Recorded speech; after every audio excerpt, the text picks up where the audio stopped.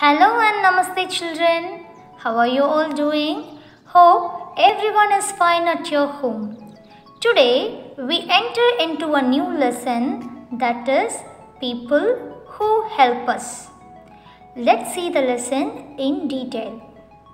We can see different type of people around us. Each of them helps us in different ways. There are so many people who help us in our everyday lives. Some help us with day to day and others when it's an emergency. So, in this world alone, we cannot do anything. So, with the help of these people only, we are able to survive in this world. So, dear children, it is very important to know about these people who help us in our everyday activities. Let's see one by one in detail. Many people help us in our daily lives.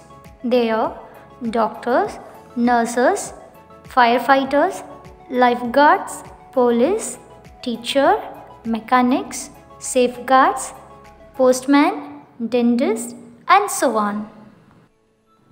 Especially during this pandemic, we suffered a lot. But we must show our gratitude to our frontline workers who helped us a lot, who worked hard, and who sacrificed their lives for us. Without these people, we could not come over this pandemic. First one, cobbler. The cobbler makes and mends our shoes and slippers. The postman or the postwoman brings us our letters. Next, doctors. When we are ill, the doctor tells us what we must do to get well again. Next, teacher. Teacher is the person who provides education for pupils and students. They help us learn in school. The policemen and policewomen keep our neighborhood safe. The tailor. The tailor stitches new clothes for us.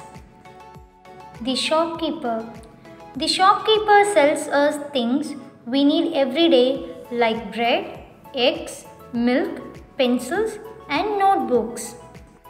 Not only these people, but also there are so many people around us who help us in all our works.